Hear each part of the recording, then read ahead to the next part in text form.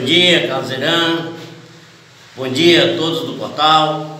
Carlos rapaz, há sete anos meu filho é prefeito da cidade vizinha aqui de Sucupira, que é Barão de Irajaú. Tem feito um trabalho extraordinário, uma administração realmente a nível, à altura que o povo realmente precisa. E esse foi um dos motivos da gente lançar o meu nome para ver a aceitação, avaliar a aceitação na cidade vizinha que é Sucupira do Riachão. O povo de Sucupira, como nós somos muito vizinhos, tem sempre me cobrado que os trabalhos de Barão eles admiram, as estradas muito bem feitas, a saúde hoje tem outro nível.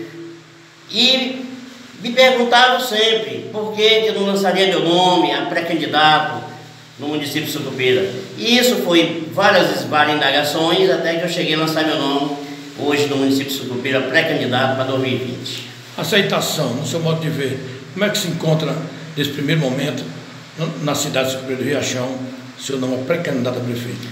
O povo tem aceitado muito bem meu nome, Carlos até porque estão ansioso pela mudança. O povo de Sucupira está necessitando que realmente chegue um administrador moderno, diferente e que faça um trabalho realmente que, que o povo deseja. Seu nome sendo confirmado, a sua candidatura aprovada, já tem projetos para a cidade de Sucupira do Sim, com certeza, Carlos. Não precisa de imediato mudar a questão da saúde de Sucupira que está um desastre.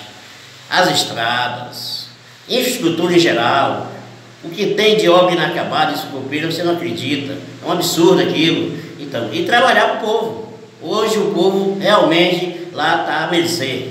Estão necessitando do administrador que realmente cuide do povo.